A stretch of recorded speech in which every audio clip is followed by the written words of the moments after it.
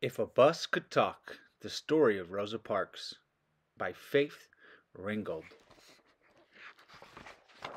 This story is dedicated to Rosa Parks and all of the known and unknown men, women, and children of the civil rights movement who, through their singular acts of courage, made it possible for black people to vote, take a seat on a bus, in a movie theater, or at a lunch counter, and get a hotel room just like any other American citizen. This is If a Bus Could Talk, the Rosa Parks story. This morning, a strange looking bus pulled up at my stop. It didn't look anything like my usual bus, but it was on time, and I didn't want to be late for school. So I decided to take it. The door opened, and a voice called out, Step on up, young lady. I got on thinking, I'll ask the driver which bus this is. But the driver was not in his seat. I paid my fare and looked around for him. There were lots of passengers, but their faces weren't familiar. I started to ask one of them if I was on the right bus, but before I could, the door closed and the bus pulled away from the curb. With no one in the driver's seat. The sudden start sent me reeling down the aisle and I landed in a seat, holding on for dear life. None of the other passengers seemed to notice anything was wrong. Stop this bus and let me off, I shouted. I want a bus with a driver. Please, don't take that seat, Marcy, someone said. How do you know my name? Which one are you speaking? I asked, looking around. But the passengers were talking amongst themselves, reading, or just staring out the window. This is a special bus, Marcy, and you are sitting in a special seat reserved for a very special person. Amen, amen, chorused the passengers. What bus is this? I asked. This used to be the Cleveland Avenue bus, but now it's the Rosa Parks bus. She is the patron saint of the civil rights movement. One day a year we reserve that seat in her name. Take another seat, and I will tell you about her. Now, the voice seemed to be coming from the bus itself. I could hardly believe it. I was on a talking bus. Trembling with fear, but curious as I could be, I took a seat across the aisle and settled down to hear this remarkable story. Rosa McCauley, the first child of James and Leona McCauley, was born on February 4, 1913, in Tuskegee, Alabama. When Rosa was two years old, her father, a skilled carpenter and house builder, left the family and went up north looking for work. Her mother took Rosa and Sylvester, her baby brother, to live on their grandfather's small farm in Pine Level, Alabama. They worked hard there, raising chickens, calves, vegetables, nuts, and fruit. Rosa helped her grandfather clear weeds and tend the crops. The family also picked cotton in neighboring fields. From Rosa's earliest childhood, she could remember scary nights when the Ku Klux Klan, a band of hateful white men dressed in white hooded robes, would ride past their farm, shooting off rifles to frighten black people. Rosa knew that the Klan had burned churches and beaten and tortured and lynched many black people. There were times when Rosa's family slept in their clothes so that they could run if the Klan decided to burn their house down in the middle of the night. Despite these fearful conditions, Rosa's grandfather was an outspoken old man who made it known that he had a loaded shotgun and was not afraid to use it to defend his home and family. Grandfather Sylvester instilled a sense of pride in his children and grandchildren, and in Rosa most of all. Rosa was a nice little girl who loved praise, but she hated the disrespectful way whites often treated black people. One day, a white boy threatened to punch her, and Rosa picked up a rock and threatened to hit him back if he did. When her grandmother heard about this, she was very afraid because she knew something like that might cause Rosa to be lynched one day. When Rosa was six years old, she went to school. Her school had 50 to 60 children in one room and only one teacher. In Pine Level, Alabama, school for black children only went up to the sixth grade and it was open only five months out of the year while school for white children went through 12th grade and was open for nine months. And the white children could take a bus to school, while the black children often had to walk a long way. However, Rosa's mother, Leona, had plans for Rosa's education. Leona was a teacher in a one room school in the village of Spring Hill. To teach there, she had to travel a long distance and then be away from her children all week. But she saved up so Rosa could further her education. When Rosa was 11, she went to Miss White's School for Girls in Montgomery, Alabama. Several years later, Rosa went on to high school at Alabama State Teachers College for Negroes. She had to drop out of school when her first grandmother and then her mother became ill. Rosa's mother got well, but her grandmother later died. After Leona recovered, Rosa went back to school and got her high school diploma.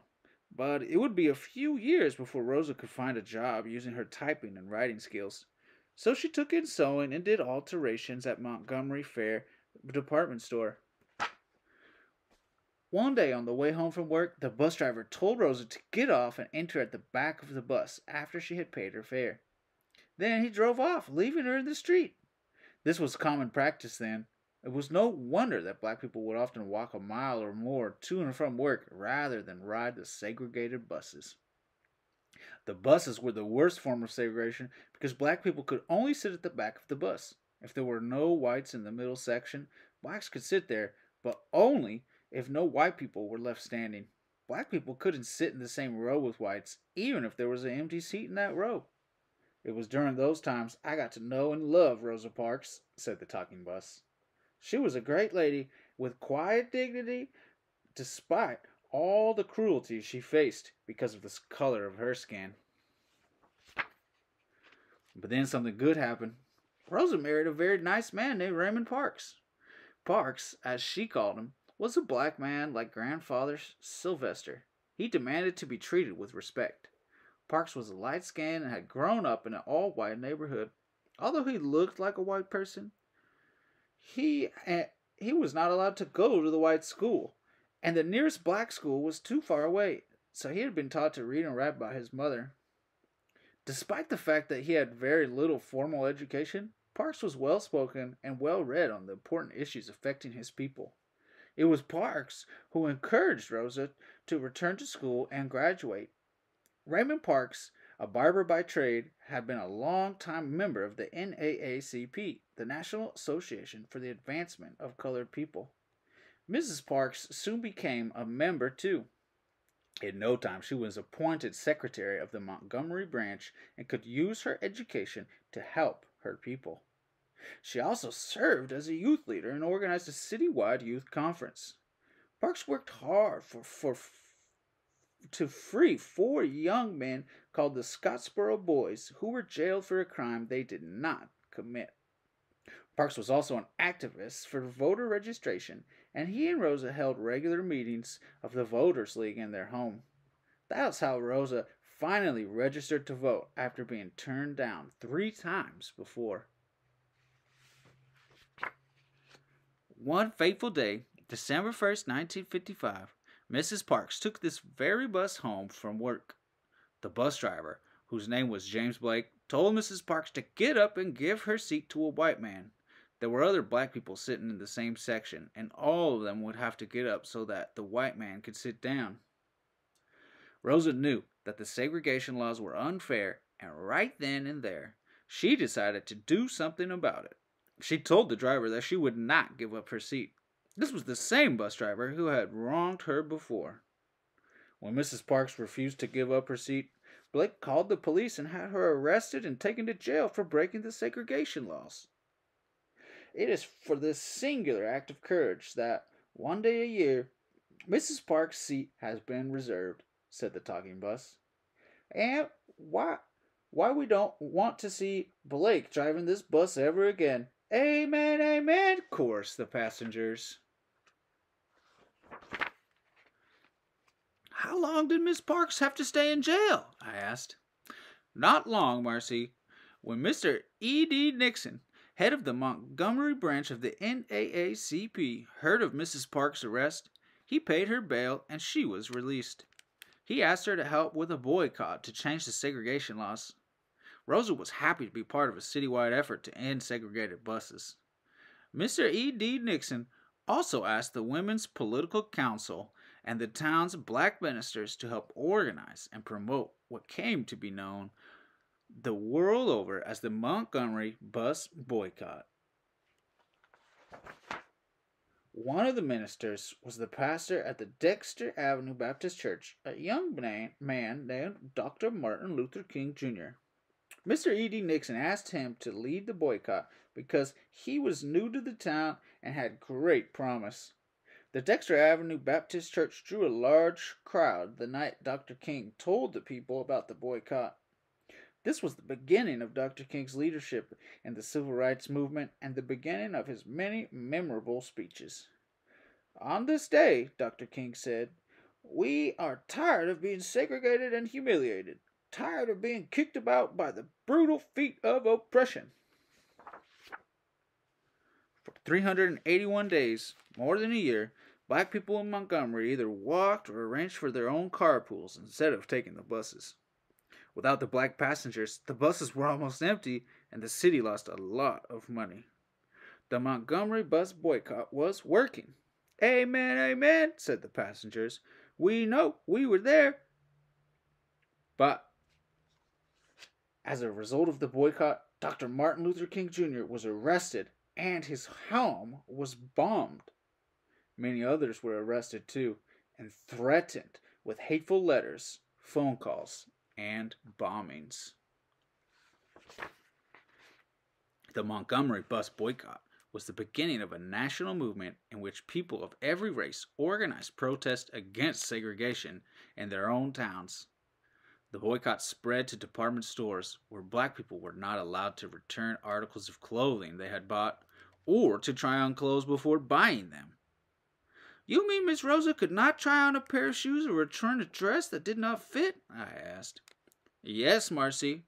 I know it's difficult for young people today to understand what life under the segregation laws was really like. There were eat-ins, too, where black people and white sympathizers would sit at four white only lunch counters and have food poured over their heads by the hissing crowds. But there was no sadder sight on a hot summer day than black children outside a public swimming pool displaying a for whites only sign.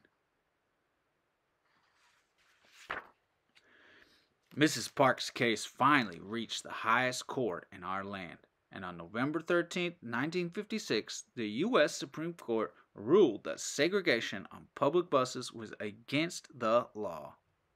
A little more than a month later, the boycott ended. Black people no longer had to ride in the back of the bus, but the struggle for equal rights was not over. Rosa lost her $25 a week job at the Montgomery Fair department store, and she continued to receive threatening phone calls and letters. A year later, Rosa and Raymond Parks moved to Detroit, where Rosa worked for Congressman John Conyers of Michigan. There, she was able to help homeless people find decent housing, jobs, and community services. Mrs. Parks' struggle for equal rights continued. On August 28, 1963, at Dr. King's March on Washington, Rosa Parks was honored with a Tribute to Women award by A. Philip Randolph. However, she was not asked to speak. And later, when she heard on the radio that Dr. King had been shot, Rosa wept in her mother's arms. Many tributes and awards have been given to this gentle, courageous woman.